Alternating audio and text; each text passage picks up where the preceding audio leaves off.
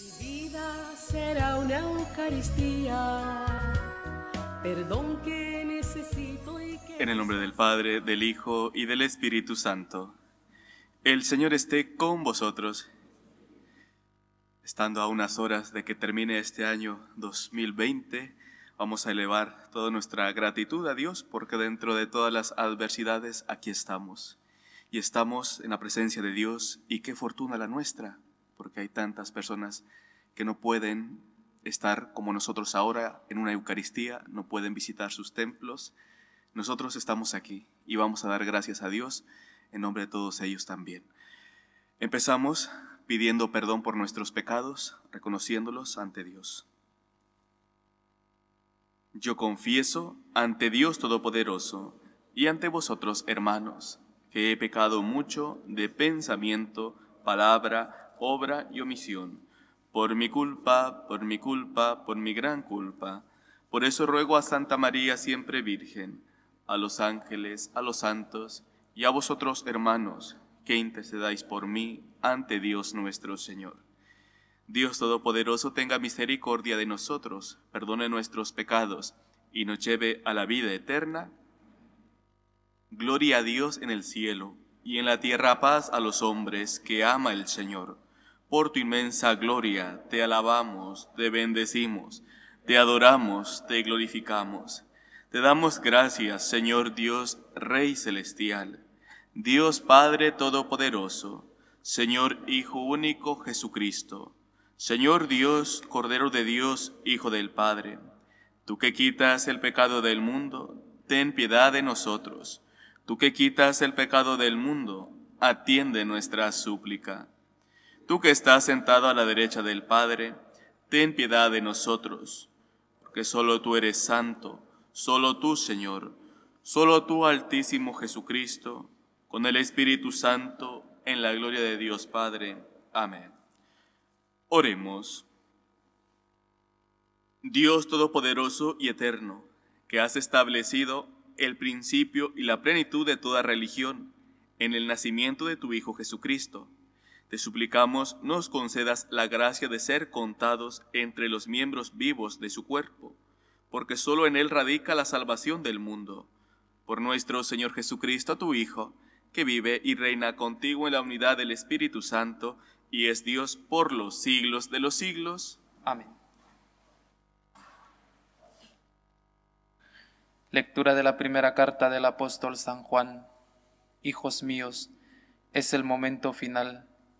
Habéis oído que iba a venir un anticristo, pues bien, muchos anticristos han aparecido, por lo cual nos damos cuenta que es el momento final. Salieron de entre nosotros, pero no eran de los nuestros. Si hubiesen sido de los nuestros, habrían permanecido con nosotros. Pero sucedió así para poner de manifiesto que no todos son de los nuestros. En cuanto a vosotros, estáis ungidos por el Santo, y todos vosotros lo conocéis. Os he escrito no porque desconozcáis la verdad, sino porque la conocéis y porque ninguna mentira viene de la verdad. Palabra de Dios. Alegres el cielo, goce la tierra. Alegres el cielo, goce la tierra. Cantad al Señor un cántico nuevo. Cantad al Señor toda la tierra. Cantad al Señor, bendecid su nombre. Proclamad día tras día su victoria. Alegres el cielo, goce la tierra. Alegres el cielo, goce la tierra. Retumbe el mar y cuanto lo llena. Vitoreen los campos y cuanto hay en ellos. Aclamen los árboles del bosque. Alegres el cielo, goce la tierra. Delante del Señor que ya llega, ya llega a regir la tierra. Regirá el orbe con justicia y los pueblos con fidelidad. Alegres el cielo, goce la tierra.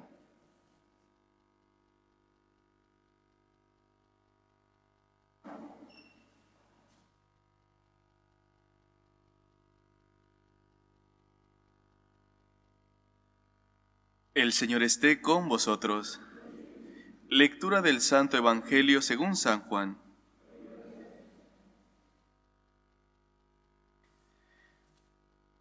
En el principio ya existía la palabra, y la palabra estaba junto a Dios, y la palabra era Dios. La palabra en el principio estaba junto a Dios. Por medio de la palabra se hizo todo, y sin ella no se hizo nada de lo que se ha hecho. En la palabra había vida, y la vida era la luz de los hombres. La luz brilla en la tiniebla, y la tiniebla no la recibió. Surgió un hombre enviado por Dios que se llamaba Juan. Este venía como testigo para dar testimonio de la luz, para que por él todos vinieran a la fe. No era la luz, sino testigo de la luz. La palabra era la luz verdadera, que alumbra a todo hombre. El mundo, al mundo vino y en el mundo estaba. El mundo se hizo por medio de ella y el mundo no la conoció. Vino a su casa y los suyos no la recibieron.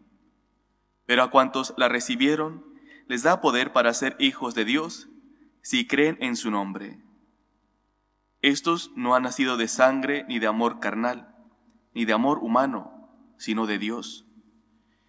Y la palabra se hizo carne y acampó entre nosotros, y hemos contemplado su gloria, gloria propia del Hijo único del Padre, lleno de gracia y de verdad.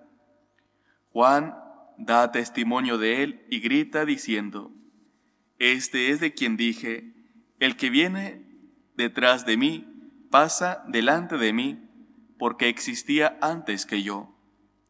Pues de su plenitud todos hemos recibido gracia tras gracia. Porque la ley se dio por medio de Moisés, la gracia y la verdad vinieron por medio de Jesucristo. A Dios nadie lo ha visto jamás. Dios Hijo único, que está en el seno del Padre, es quien lo ha dado a conocer. Palabra del Señor.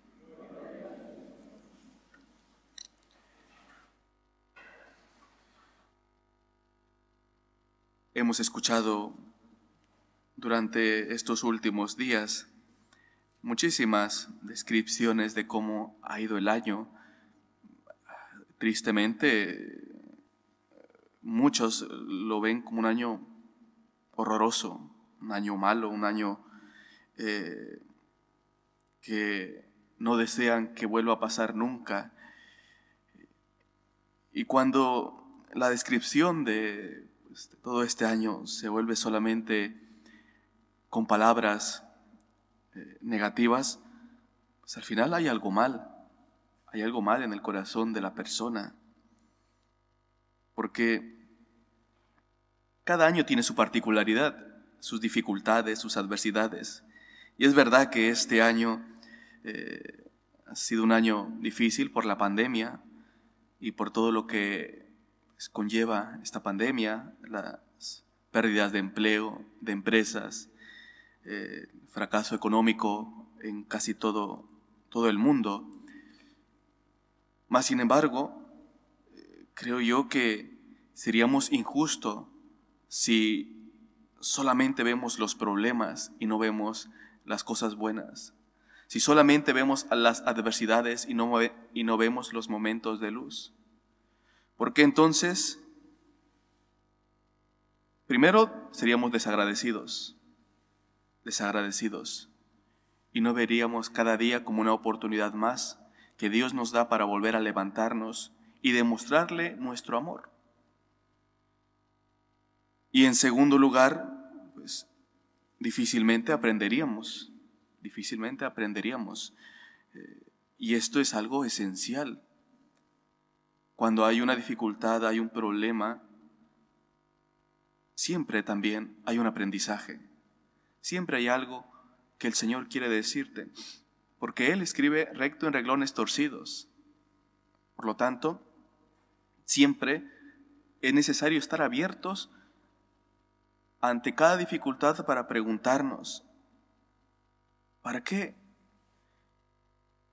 me pasa esto? ¿Qué es lo que quiere Dios que aprenda de esta situación? Un poco más de confianza en Él, que dedique más tiempo de oración, que sea más comprensivo, que reflexione un poco sobre la paciencia que Dios me tiene a mí para que también encuentre en mí esta misma respuesta, paciencia a Él, porque Dios tiene todo un tiempo, su tiempo es perfecto.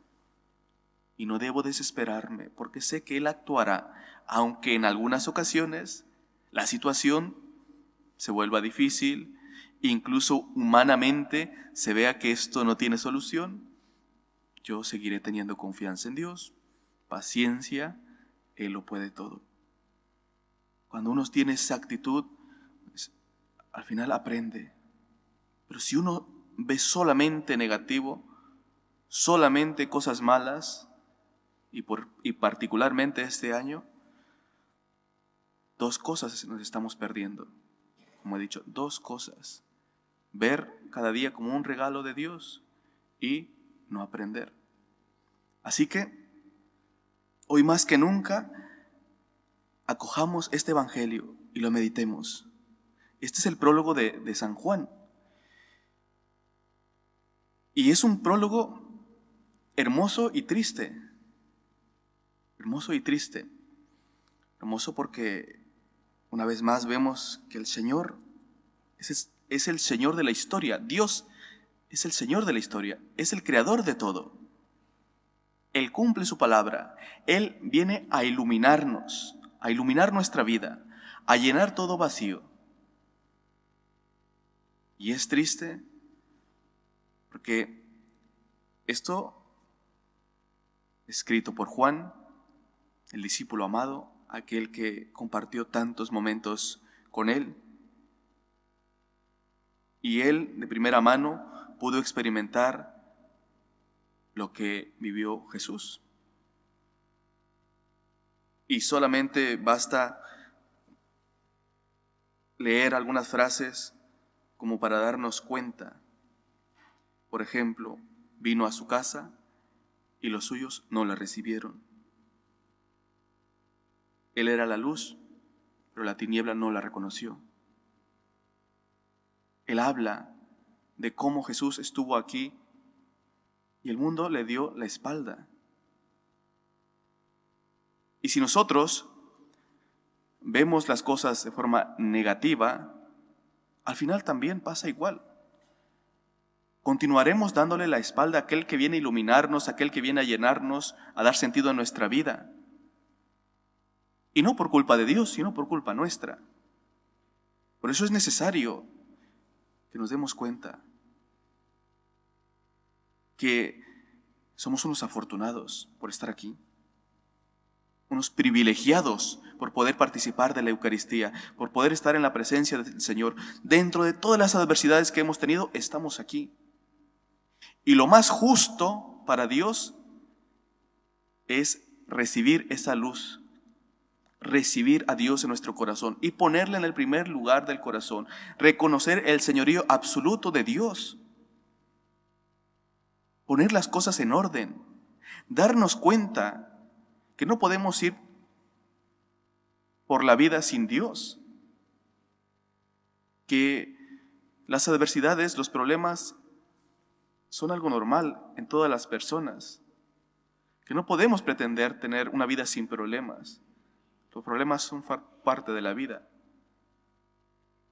Tenemos que poner a Dios en el primer lugar de nuestro corazón. Él viene a estar con nosotros, viene a dar sentido a nuestra vida, viene a iluminarnos. Dale ese primer lugar de tu corazón. Sea ese propósito para este año que viene. Ya hemos experimentado tanto de que en un mundo sin Dios no hay progreso, de que en un mundo sin Dios, sin Dios el hombre atenta contra el propio hombre, de que un mundo sin Dios se cae en la desesperanza. Y vendrán dificultades durante este año que viene seguramente. No sé si más grandes o menos, pero tenemos que entender de una vez por todas de que Dios no viene aquí a quitarnos la felicidad, a complicarnos la vida para nada. Él viene para iluminar todo lo que muchas veces es oscuro en nuestra propia vida. Viene para llenar nuestros vacíos. Abramos nuestro corazón con humildad. Abramos nuestro corazón con un corazón y tengamos un corazón sencillo. Todo lo vivido el día de hoy, cosas buenas, cosas malas, agradezcamos a Dios. Podemos decir incluso, bendito el problema que nos volvió a levantar la mirada a Dios. Porque yo creo que así ha pasado en muchas ocasiones durante este año. Vivíamos en un mundo material, un mundo donde cada uno buscaba su propia satisfacción y ha caído esto volvimos nuestra mirada a Dios. Pero no tiene que seguir pasando tantos problemas para volver a Dios. Es que Dios ya ha hecho tanto por nosotros, que sea el agradecimiento, porque la respuesta adecuada a todos los dones que Dios nos da, la verdadera respuesta es el amor. Y, y esta respuesta es la que nos tenemos que esforzar en darle todos los días a Dios. Que el Señor encuentre agradecimiento en nuestro corazón durante este día. Que podamos eh, decirle una vez más a Él, quiero contar contigo y quiero que estés en el primer lugar de mi corazón. Y no quiero que se quede solamente en buenas intenciones. Como dice el dicho, porque de buenas intenciones está lleno el infierno.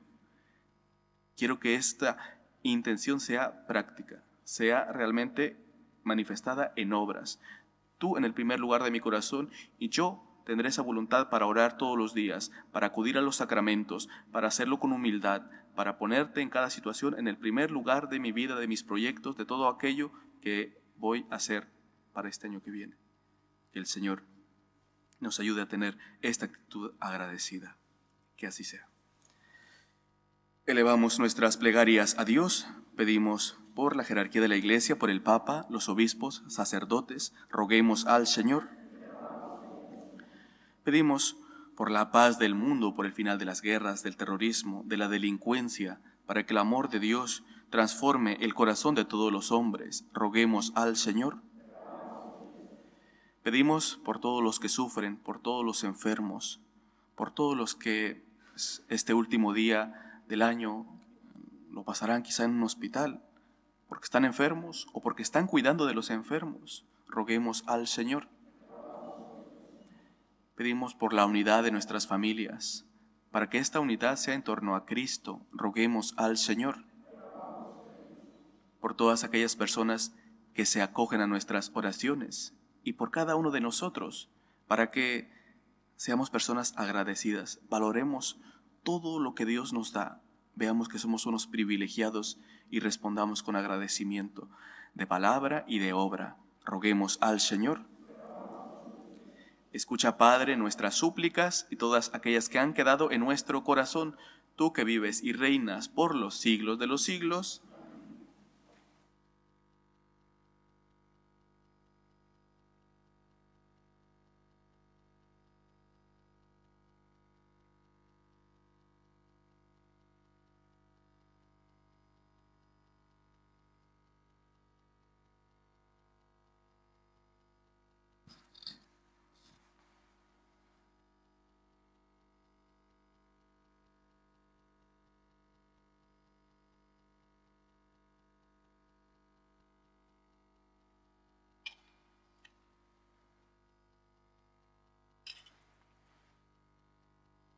Bendito sea el Señor Dios del universo por este pan, fruto de la tierra y del trabajo del hombre, que recibimos de tu generosidad y ahora te presentamos. Él será para nosotros pan de vida. Bendito sea el Señor Dios del universo por este vino, fruto de la vid y del trabajo del hombre, que recibimos de tu generosidad y ahora te presentamos. Él será para nosotros bebida de salvación.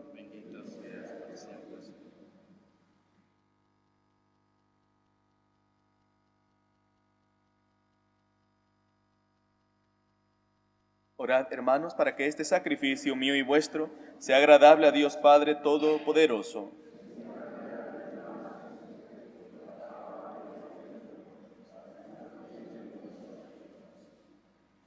Oh Dios, autor de la piedad sincera y de la paz, te pedimos que con esta ofrenda veneremos dignamente tu grandeza y nuestra unión se haga más fuerte por la participación en este sagrado misterio, por Jesucristo nuestro Señor. El Señor esté con vosotros. Levantemos el corazón. Demos gracias al Señor nuestro Dios. En verdad es justo y necesario, es nuestro deber y salvación, dar de gracias siempre y en todo lugar, Señor Padre Santo, Dios Todopoderoso y Eterno, porque gracias al misterio del Verbo hecho carne, la luz de tu gloria brilló ante nuestros ojos con nuevo resplandor para que conociendo a Dios visiblemente, Él nos lleve al amor de lo invisible. Por eso con los ángeles y arcángeles, tronos y dominaciones, y con todos los coros celestiales, cantamos sin cesar el himno de tu gloria. Santo, santo, santo es el Señor, Dios del universo. Llenos está el cielo y la tierra de tu gloria. Osana en el cielo, bendito el que viene en nombre del Señor sana en el cielo. Santo eres en verdad, Señor, fuente de toda santidad. Por eso te pedimos que santifiques estos dones con la infusión de tu Espíritu, de manera que se conviertan para nosotros en el cuerpo y la sangre de Jesucristo nuestro Señor, el cual, cuando iba a ser entregado a su pasión, voluntariamente aceptada, tomó pan. Dándote gracias, lo partió y lo dio a sus discípulos diciendo,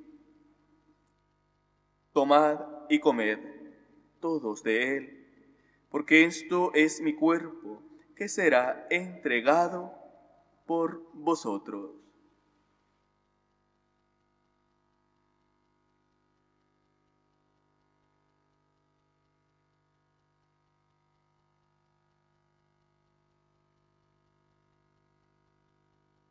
Del mismo modo, acabada la cena, tomó el cáliz y dándote gracias de nuevo, lo pasó a sus discípulos diciendo, Tomad y bebed todos de él, porque este es el cáliz de mi sangre, sangre de la alianza nueva y eterna, que será derramada por vosotros y por muchos, para el perdón de los pecados. Haced esto en conmemoración mía.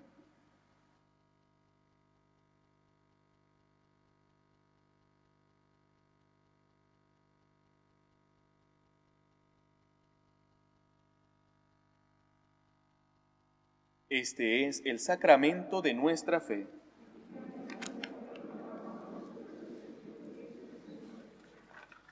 Así pues, Padre, al celebrar ahora el memorial de la muerte y resurrección de tu Hijo, te ofrecemos el pan de vida y el cáliz de salvación, y te damos gracias porque nos haces dignos de servirte en tu presencia. Te pedimos humildemente que el Espíritu Santo congregue en la unidad a cuantos participamos del cuerpo y la sangre de Cristo. Acuérdate, Señor, de tu iglesia, extendida por toda la tierra, y con el Papa Francisco, con nuestro obispo Carlos, y todos los pastores que cuidan de tu pueblo, lleva a su perfección por la caridad. Acuérdate también de nuestros hermanos, que durmieron en la esperanza de la resurrección, de Santi, José Antonio y Carmen Cecilia, y de todos los que han muerto en tu misericordia, admítelos a contemplar la luz de tu rostro. Ten misericordia de todos nosotros, y así con María, la Virgen, Madre de Dios, su esposo San José, los apóstoles y cuantos vivieron en tu amistad a través de los tiempos, merezcamos por tu Hijo Jesucristo compartir la vida eterna y cantar tus alabanzas. Por Cristo, con Él y en Él, a ti Dios Padre Omnipotente, en la unidad del Espíritu Santo, todo honor y toda gloria por los siglos de los siglos. Fieles a la recomendación del Salvador y siguiendo su divina enseñanza nos atrevemos a decir, Padre nuestro que estás en el cielo, santificado sea tu nombre. Venga a nosotros tu reino. Hágase tu voluntad en la tierra como en el cielo. Danos hoy nuestro pan de cada día. Perdona nuestras ofensas como también nosotros perdonamos a los que nos ofenden. No nos dejes caer en la tentación y líbranos del mal. Líbranos de todos los males, Señor, y concédenos la paz en nuestros días, para que ayudados por tu misericordia, vivamos siempre libres de pecado y protegidos de toda perturbación, mientras esperamos la gloriosa venida de nuestro Salvador Jesucristo Señor Jesucristo, que dijiste a tus apóstoles, la paz os dejo, mi paz os doy. No tengas en cuenta nuestros pecados, sino la fe de tu iglesia, y conforme a tu palabra concédele la paz y la unidad, tú que vives y reinas por los siglos de los siglos. La paz del Señor esté siempre con vosotros. Cordero de Dios, que quitas el pecado del mundo, ten piedad de nosotros. Cordero de Dios que quitas el pecado del mundo, ten piedad de nosotros. Cordero de Dios que quitas el pecado del mundo, danos la paz. Este es el Cordero de Dios que quita el pecado del mundo. Dichosos los invitados a la cena del Señor. Señor, yo no soy digno de que entres en mi casa, pero la palabra tuya bastará para sanar el cuerpo de Cristo. Amén.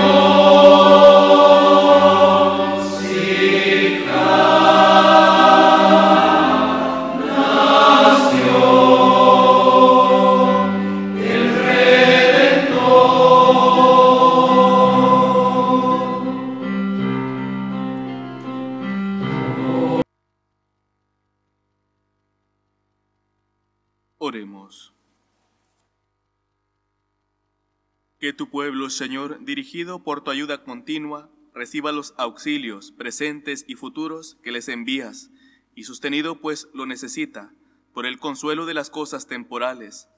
Ayúdale a aspirar con más confianza a los bienes eternos, por Jesucristo nuestro Señor. El Señor esté con vosotros. La bendición de Dios Todopoderoso, Padre, Hijo y Espíritu Santo, descienda sobre vosotros. Podéis ir en paz. Dios te salve, Reina y Madre de misericordia, vida, dulzura y esperanza nuestra. Dios te salve, a ti llamamos los desterrados hijos de Eva, a ti suspiramos gimiendo y llorando en este valle de lágrimas. Ea pues, Señora abogada nuestra, vuelve a nosotros esos tus ojos misericordiosos, y después de este destierro, muéstranos a Jesús, fruto bendito de tu vientre, oh clementísima, oh piadosa, oh dulce siempre Virgen María. Ruega por nosotros, Santa Madre de Dios, para que seamos dignos de alcanzar las promesas de nuestro Señor Jesucristo.